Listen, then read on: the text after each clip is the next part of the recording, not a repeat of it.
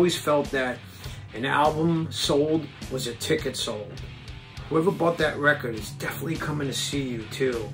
And we had such a great relationship with our fans since then. Uh, if I'm being honest, my initial response to being offered the Clash of the Titans idea in a fax uh, that was sent to us while we were out on tour with Maiden in earlier of 91 was not a good one. I was actually like, we don't need this. We're out with Maiden.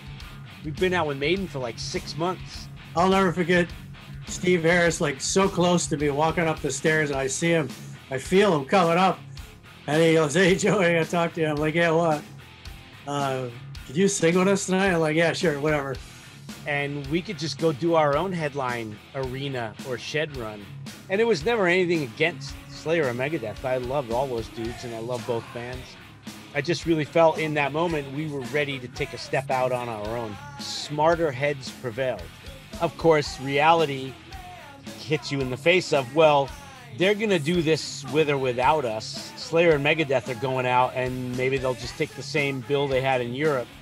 So if we go out as a headliner, we're already going out against that. And it's summertime, and there's loads of competition. So why not, you know, why not take some of the variance out of the idea of having to sell all the tickets and put this great build together? And it's a slam dunk. You know, we do well together, and we fit so well together musically. We didn't ever want to disappoint the crowd. And, and I think that comes with uh, the love of some of the bands that we grew up with. Like, if you go see a band like Kiss, Kiss have to deal with the makeup, the costumes, the show, and you would never know one of them had 102 fever. You know what I mean? We're almost a year into the album cycle, playing the biggest shows we've ever played, and it was a triple triple headline bill. The three different managements involved came up with a, a flip flopping rotation. So it was decided in advance. Anthrax would close New York. We were closing Madison Square Garden. So, you know, for us at that point in time, there's nothing bigger than that for us. Just to know that we're going to headline Madison Square Garden. The obvious word is surreal um, because growing up in New York, in the Bronx, seeing Kiss there, we have to bring up Kiss in every every sentence we do because that was the place. It really was a huge exclamation point on what I had been screaming for years and years and years at that point about, you know, check out my band. And now on June 28th, 1991, um, but who's keeping track? We're going to get to headline Madison Square Garden. And as a bunch of New Yorkers, it just really is the dream come true. You think about this. I'm in my bedroom jamming to Kiss songs, Iron Maiden songs. You see all these great bands play that place, and you have it in your mind as a kid. One day, one day, and that's um, when that dream comes true. It's pretty special. The Kiss show in 1977 that put me on my path has now taken me to Madison Square Garden. You know, it was early on in the tour, within like the first week. It might have been Megadeth's agent uh, came over to me backstage at one of the shows and they said, "Looks like the garden sold out. Congratulations!" It was just like such an insane feeling, you know. It was everything I wanted it to be, Madison Square Garden. It was everything, um, and and I can't even say the rest of the tour was a letdown because it was just so great being out there and on such a huge thing and being with our friends any New York show, I'll, I'll, let me go back for a second with Madison Square Garden. Any New York show, you're, you're worried about the fucking guest list, period. That's bottom line. Big family, friends. Who's pissed at me now because they didn't get in the right tickets, the right passes, you didn't get back, you're fucking mad at me for two months. Great, we'll talk later. When I did leave the dressing room and you're walking down that hallway and, and I'm, you know, literally thinking about all the bands that have done this same walk and I'm walking in their footsteps and you know, you're winding winding myself up, and it's not even like I'm turning into something bigger than it is. It's bigger than I could, you know, it's, it's fucking heavy, man.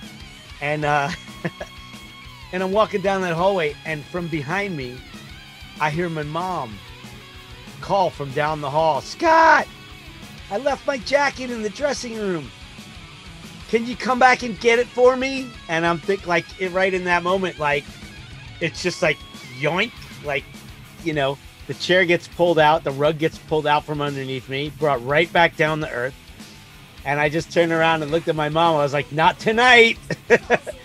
and then I just I started laughing because just that the whole moment was just so crazy and hilarious to me. Like I'm walking on stage to headline Madison Square Garden, and my mom's yelling at me to get her jacket out of the dressing room. You have to realize how great of a time that was. The, the whole persistence time, the album went gold right away. Everything was working really well. We were on fire. Was, I'm very proud to say that because we worked really hard to get there.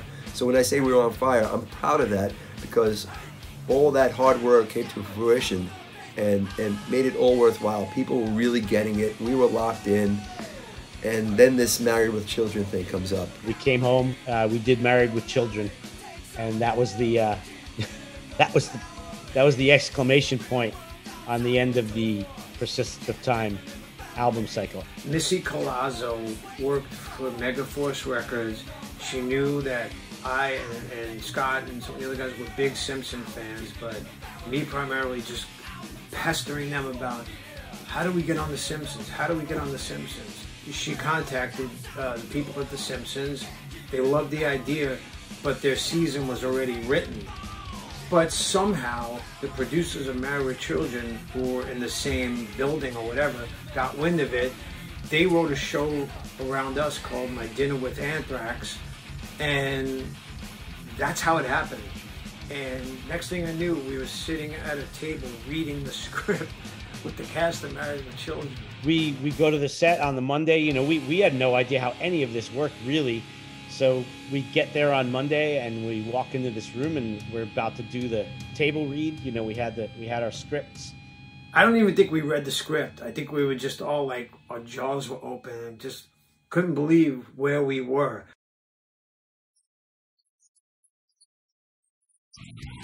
To be offered that gig was awesome, right? I mean, to be on a, a national like TV show, even Fox at that time, just to be able to be on that and go out and share a week with them and and go through all the, sh- the day readings and the, the prep, uh, it was quite enormous. And we're all nervous, you know, even just to to meet Ed O'Neill and Katey Sagal and Christina Applegate and David Faustino. I mean, you know, we were all fans of this show, and we walk in this room and they're all there, and there's all these people there, your producers and the, the director, and yeah, we, you know, everyone made us feel right at home, and we all sat down and we did the table read, you know, and you just.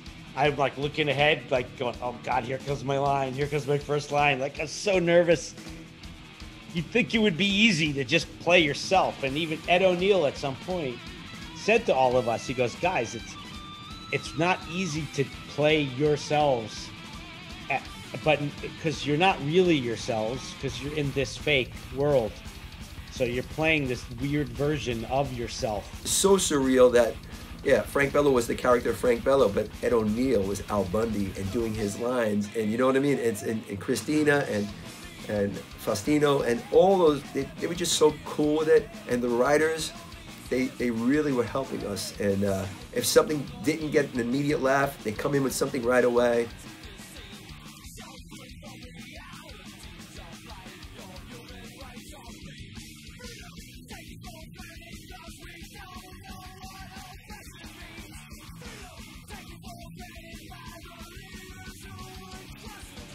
You know, so that's on the Monday. We did a table read, and like that was it for the day. We're like, that's it.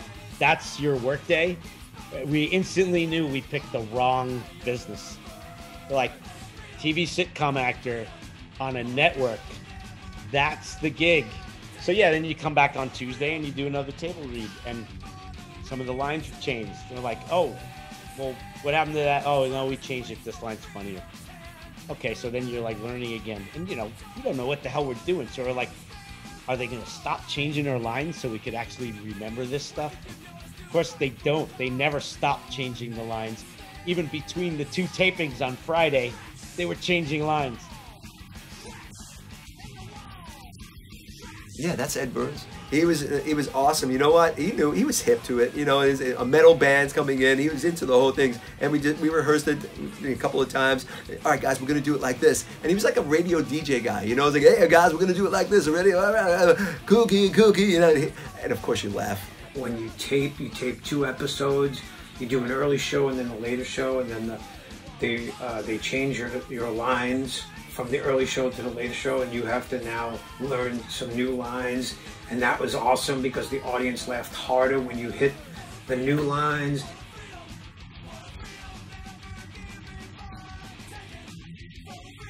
I, I don't look at any of us and go, "Oh God, like ah, it's terrible." I don't think they would have let us be that. They would have corrected it. They would have worked with us until you know, or worked with us more because they did work with us. The New York accents are pretty fabulous. That's um, my the colors, the colors.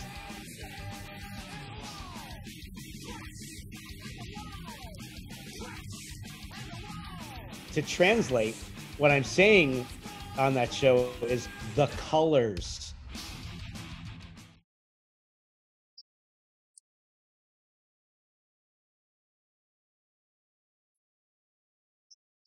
We encouraged each other, you know, to hit the line and and we were having fun with it, you know.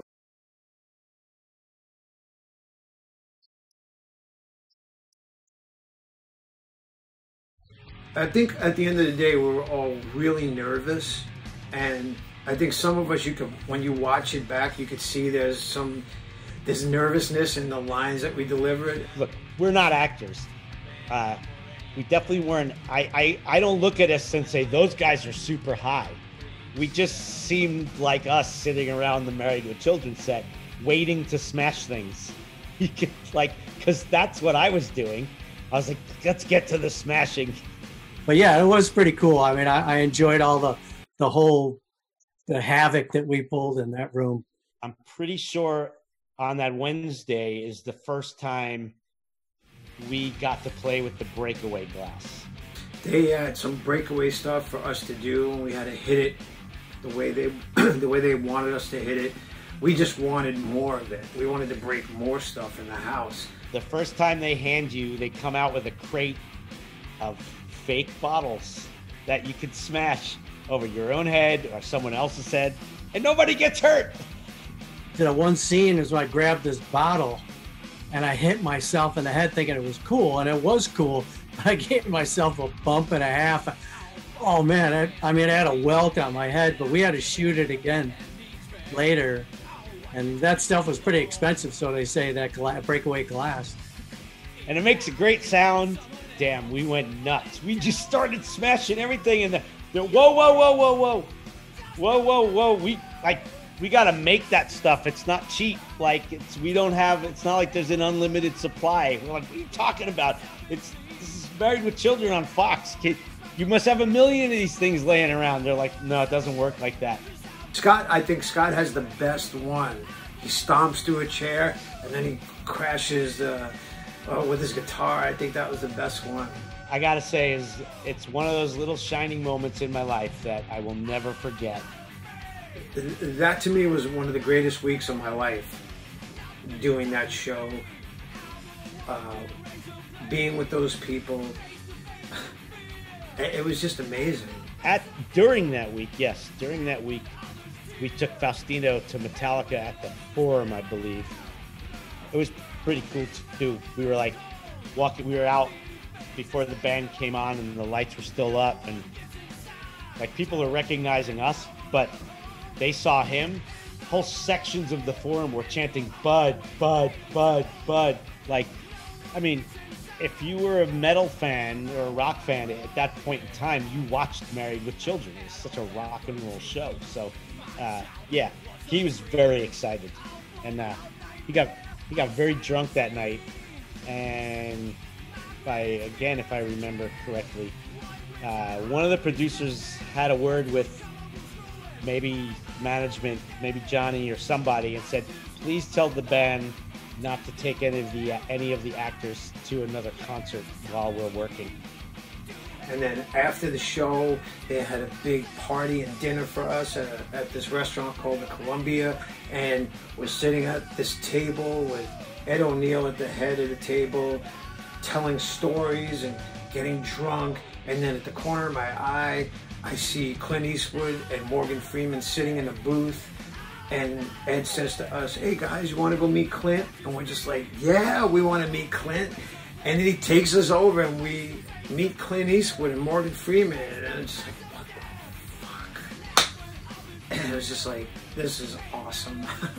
That's the one thing about this band. It got us to so many different places and and situations that I never dreamed would happen.